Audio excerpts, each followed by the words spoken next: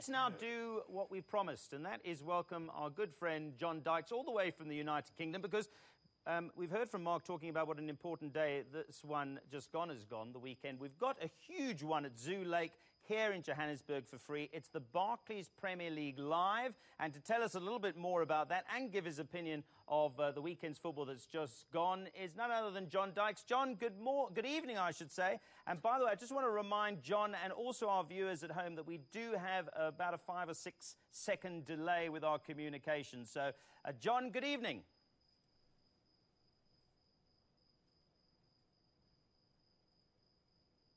Good evening, Neil. It's great to be with you. And uh, yeah, about that delay, it normally takes a little while for me to process anything, I have to say. Belated happy birthday, Terry. I think it was very unfair of Neil to bring up that game. I still can't believe that Southampton managed to lose it, I have to say. Uh, Andre, good to be with you. Uh, and Mark, I must say, Alan Curbishley uh, was saying some really complimentary things about you this past weekend. But uh, I'll carry charging on because you've mentioned the Barclays Premier League Live, and it gives me an opportunity to, to be down there in Johannesburg this weekend. In a sense, I'm hearing things about a 100 metre screen on which they'll be broadcasting the matches, and we'll be showing five live games this coming weekend. 100 metres is a bit scary, to be honest. I'll make sure I get nothing stuck in my teeth before I go on air with that one, and uh, HD can be very, very cruel, as we all know, Neil, I think. But uh, no, it's a fantastic uh, opportunity, I think, to thank the fans uh, down there in South Africa. I understand there are something like 10 million fans uh, of a Barclays Premier League club, one or another, down there in South Africa. Won't get that many into Zoo Lake, but there's going to be up to 12,000 uh, each of the two days, Saturday and Sunday, 24,000 going there. It's a day out for the whole family, as well as the five matches, three on Saturday, two on Sunday, will be broadcasting. There's an opportunity to get involved, to see the trophy. I know you've got the trophy there with you, and I think you'll agree, actually, Neil. I mean, I, I have the trophy with me most weekends, and it's still exciting. It still gives us all a bit of a buzz to have the trophy in there with us. And another thing that will be quite nice for you is that there's a lovely interactive exhibition, a chance to find out about your clubs, and also, thanks to green screen technology, to uh, get your picture taken holding the trophy, bedecked as winners of the Barclays Premier League in your club's colours. So I think for Spurs, it's probably as close as you'll probably come anytime soon, it must be said, mate. But uh, anyway, uh, as far as the rest of it is concerned, uh, a chance to practice your skills, There'll be coaching going on down there with uh, Premier League coaches and legends there. I know Mark's going to be involved with Lucas Radebe as well. Uh, a couple of overseas legends coming in and big names too. Uh, Robbie Fowler, goalscorer supreme, is going to be there. Also Marcel Desailly. So it's a fantastic opportunity to thank the fans of South Africa, to watch some football, to really experience everything there is about the Barclays Premier League, the most supported league in the world, and it promises to be very special. The beauty as well, mate, is that we'll be focusing on all the teams left in the title race, and that should be special. John, thank you very much. Uh, don't go away because I've got one question, despite the delay, that I do want to ask you, and it has to do with television.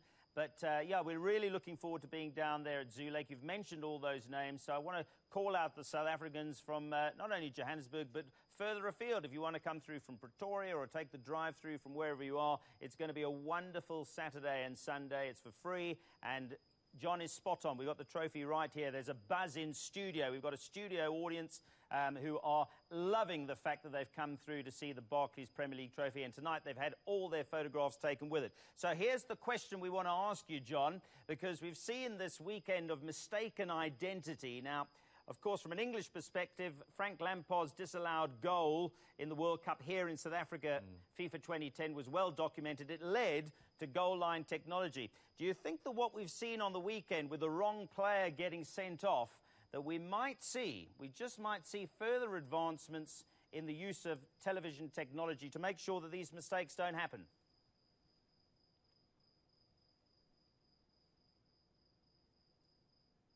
It's interesting, isn't it, Neil? Because obviously it focuses attention on that once more. I don't necessarily know if that is going to be the answer. I'm afraid to say the answer might just need to be that the officials don't make mistakes like that. It was a truly bizarre uh, series of circumstances. You'll have watched that we sought the counsel, as we always do, of Dermot Gallagher, the former uh, Premier League referee. And quite frankly, he said there were plenty of opportunities, really, for the assistants to, to, to, to change their mind or change uh, Andre Marriner's mind during the course of what happened there. I think there's been a lot that's, that's gone on about this decision that's actually a bit of a smokescreen, if you will. This business about was it going in or not Oxlade Chamberlain thought the ball was going in when he went to save it, for example. So, so uh, you know, Dermot said straight away that's going to be a red card. So we knew that was the case. It, it's bizarre to think. And by the way, he couldn't take the word, could he, the referee of the players? Because, you know, if, if, if, if, players were to have their say with the referee, we could lead to all sorts of problems there. But this business is about should they have checked on the technology and given him the answer. The problem with that is the obvious answer is yes.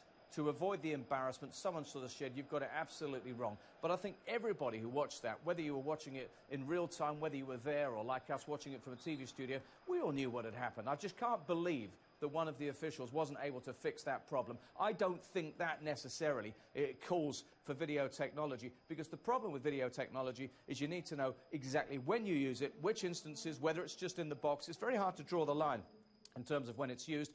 I think you probably would love to see it in certain circumstances, but the other problem is a sort of administrative one when are football's authorities going to say, yeah, FIFA, say, right, okay, we're allowing this one to come in? I just happen to think it was a bizarre set of circumstances and one that hopefully they'll go away and learn from and not allow to happen again. Also, by the way, it happened at a, at a stage in the game, and this is going to pain the Arsenal fan in your studio there, when Arsenal were being absolutely blown away. It didn't change anything about the game, did it? I spoke to a member of the uh, Chelsea coaching staff uh, the other night, and I said, well, well done, great performance, amazing result. And he, who shall remain nameless, turned around and said, You know what? The amazing thing about that was just how terrible Arsenal were on the day. We could not believe how they played and how badly they started that game. John, thank you very much. We, we appreciate your time. Uh, sorry about the delay, but we've got the gist of it and your message of Barclays Premier League. Do us one favour. I'm going to be out at uh, Zoo Lake on the weekend on Saturday and Sunday, so I'm very privileged to be working with all those gentlemen that you've mentioned. But send us one of those little Carol Burnett messages. Mm. Just tickle your ear on a Saturday and Sunday so we know you're sending us all the best from your Barclays Premier League studio in Saturday and Sunday. But thanks for joining us. I'm going to carry on with my panel. Have a lovely evening.